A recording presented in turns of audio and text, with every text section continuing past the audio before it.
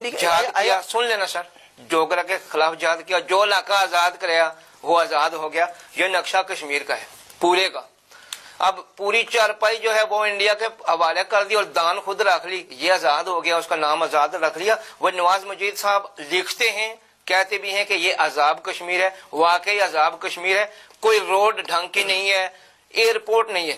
بھارت کے زیر انتظام کشمیر میں بھارت نے آج تک ایک موقف نہیں بدلا۔ وہ ڈٹا ہوا میرا اٹوٹ انگ ہے۔ پاکستان نے نہ صرف موقف بدلے، کشمیر کو تقسیم کرنے کی تجویزیں دی نہ کوئی ایئرپورٹ ہے انٹرنیشنل آزاد کشمیر میں، نہ ہی کوئی ریلوے لائن ہے، نہ ہی کوئی کالج ہے۔ کہتے ہیں جی ہم نے بڑی یونیورسٹیاں بنائی، بڑے کالج بنا دیے۔ بھائی آپ گورنمنٹ کے جو پہلے کے سکول کالج ہیں، ان میں ایک ایک کمرے کو پینٹ کرا دے، کسی پہ بینزیر بھٹو کا تختی لگا دی۔ کسی پہ آسفا بینزیر بھٹو کی لگا دی۔ پول بن گیا۔ سید یوسف رضا گلانی برج بھائی، گلانی نے باپ نے پیسہ خرچ کیا ادھر۔ اگر پل آزاد کشمیر کا ہے، تو آزاد کشمیر کے کسی شہید کا نام رکھو۔ مکان نہیں ہوتا، ہماری الگ شناخت ہے۔ پاکستان اگر پاسپورٹ دیتا ہے، تو وہ ہندوستان اس کے مقابلے میں سوا کروڑ کشمیری کو بھی پاسپورٹ دیتے ہیں۔ یہ کہتے ہیں پاکستان کھلاتا ہے۔ پاکستان کے لوگ یا اللہ کے پاکستان کے ایجنٹ کہنے۔ میں کہتا ہوں، پاکستان ہم کو بھارت کی نسبت مہنگا غلہ دیتا ہے اور اس پہ منافع بھی خوب کماتا ہے۔ راول پنڈی جو ہے، یہ جتنے بھی راول پنڈی کے لوگ ہیں، یہ امیری کشمیریوں کے تجارت سے ہوئے ہیں اور یہ لکڑی بھی ہم ہم سے لے کے مفت میں ہم کو پھر قیمتن بیچتے ہیں۔ میں بات کر رہا تھا بائیس اکتوبر کو۔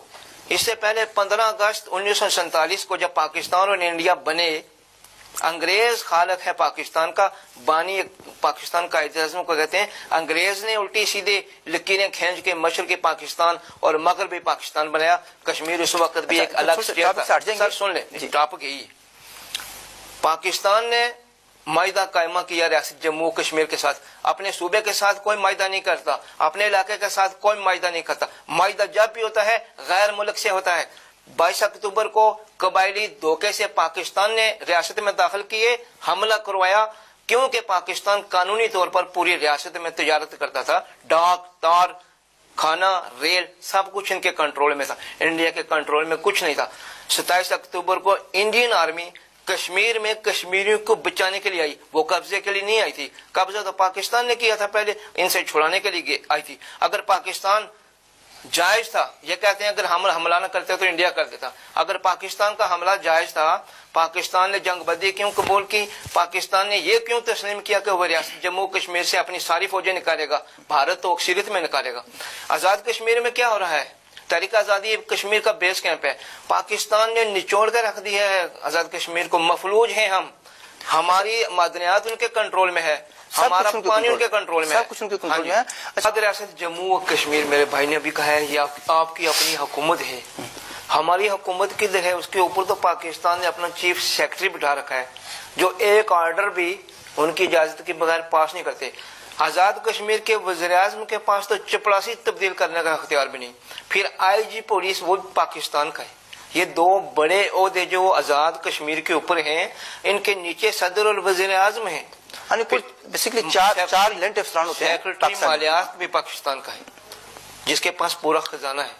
میں یہ نہیں کہتا میرے بھائی نے اچھا سوال کیا ہے یہ لوگ کیا کرتے ہیں؟ دیکھیں یہ اپنے اپنی برادریوں کے جو کھڑپے ہیں ان کو مشیر بناتے ہیں چار لینڈ افسران کا آپ نے کہہ دیا۔ کیا آزاد کشمیر کا وزیر اعظم جی اسی مری کی مرضی کے بغیر کچھ کر سکتا ہے؟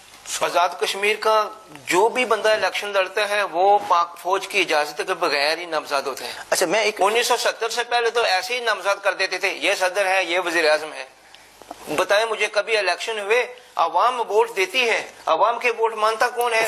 کشمیر کونسل کا بھی کردار کشمیر کونسل کو بھی یاد رکھیں بھائی نے کہا کہ آزاد جموں کشمیر کونسل انیس سو چوہتر کے ایکٹ انیس سو چوہتر کے تحت بنی انیس سو تہتر میں اس کا فیصلہ ہوا تھا۔ ذوالفقار علی بھٹو نے بنائی تھی۔ اس کو آزاد سر آزاد جموں کشمیر کا چیئرمین پاکستان کا وزیر اعظم ہے۔ کیمپ کی بات کی تھی بیس کیمپ اسی لیے رکھا تھا کہ ہم وہ کشمیر آزاد کریں۔ گے میں بات کروں وہ کشمیر جو ہے، وہ ہم سے زیادہ خوشحال ہے۔ وہاں پہ روزگار بھی ہے، وہاں پہ کپڑا بنتا ہے، ریشم ہے، کارخانے ہیں۔ انہوں نے بھیمپور میں اور میرپور میں کون سے کارخانے لگائے ہیں؟ پاکستان کا جتنا ریونیو ہے زر مبادلہ۔ سیونٹی پرسینٹ کشمیریوں کی محنت کی کمائی ہے۔ یہ تو اسی کے زور پہ اپنا کاروبار مملکت چلا رہے ہیں۔ وزارت امور کشمیر بیسیکلی جوڑ توڑ ہوتے ہیں روپے پیسے کے۔ کشمیر کونسل کے نام پہ سیٹیں بکتی ہیں۔ مجھے بتائیں دس اور بیس کروڑ دے کے آپ سیٹ خریدتے ہیں؟ آج کل کتنی ویلیو ہے؟ مطلب اس کی بولی کتنی لگ رہی میرے خیال میں گھوڑے کے برابر ہی ریٹ ہے ہے۔ گھوڑے کے؟ جی جی۔